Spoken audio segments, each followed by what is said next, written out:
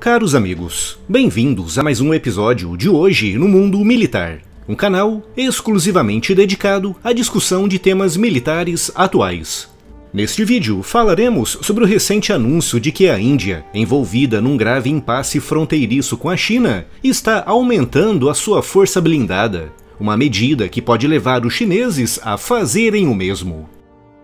A Absoluta é uma empresa especializada na criação de sites que funcionam perfeitamente em celulares e marketing de redes sociais. Se a sua empresa quer um novo site que traga resultados ou entrar forte em mídias sociais, entre em contato com a Absoluta Propaganda e Marketing. Os links e os meios de contato estão aqui na descrição.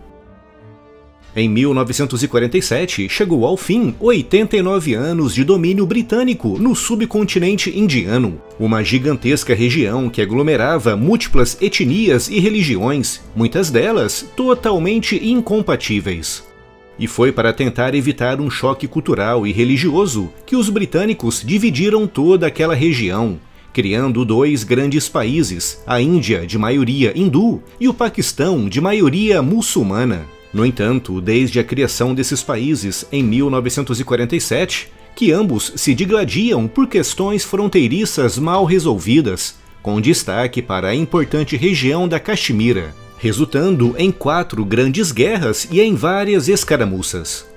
Essas tensões e conflitos com o Paquistão levaram a Índia a se preparar militarmente, assinando com os russos grandes acordos, não apenas para a aquisição, mas também para a fabricação local de blindados, com a Índia sendo, nesse momento, um dos países com a maior força blindada do mundo, operando mais de 2.200 carros T-72, dos quais cerca de mil foram atualizados para a versão T-72M1 e mais de 2 mil carros T90 divididos entre a versão M e a versão S Bishma, uma versão feita especialmente para os indianos, equipada com miras térmicas de fabricação francesa, e o Contact 5, uma blindagem reativa explosiva de fabricação russa de última geração. Nem mesmo a Rússia opera tantos carros T90 como a Índia.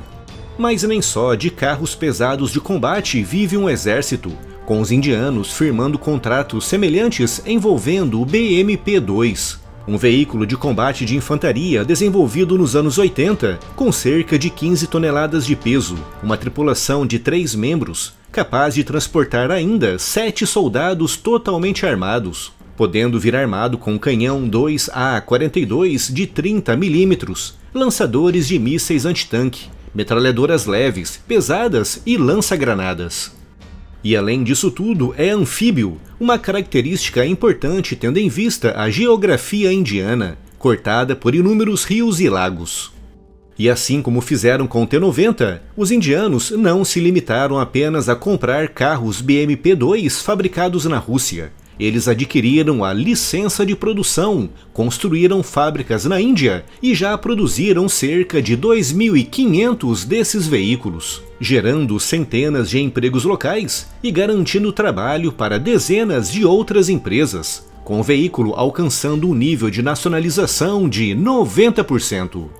Na Índia, o BMP-2 é conhecido como Sarat, que significa Carruagem da Vitória, com os indianos usando como base para uma dúzia de versões, desde veículos ambulância para evacuação de feridos, veículos de comando, de reparação, chegando até mesmo a instalar um obuseiro de 105 mm.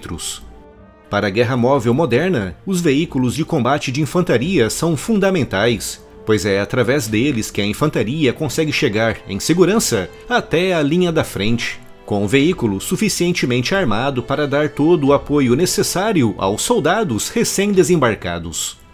E recentemente, no dia 31 de maio, em meio às crescentes tensões fronteiriças com a China, um porta-voz do Ministério Indiano da Defesa confirmou que a Índia irá adquirir mais 156 veículos BMP-2, todos eles de produção local, e que estão estudando o reforço na produção de novos carros T90S e também a aceleração do programa do Arjun Mark II, uma evolução do Arjun, o primeiro blindado 100% projetado e construído na Índia e que provou ser superior ao T90 em alguns aspectos. Esses anúncios são um reflexo claro das tensões com a China, um país cujas forças armadas também estão muito bem equipadas com blindados. E como para cada ação há uma reação, esse reforço indiano nos blindados poderá levar a China a fazer o mesmo, podendo resultar numa autêntica corrida armamentista na região, algo que, se realmente acontecer, poderá envolver também o Paquistão, o eterno arquirrival da Índia e parceiro da China em muitas áreas, que não querendo ficar para trás da China e principalmente da Índia, poderá também embarcar nessa corrida.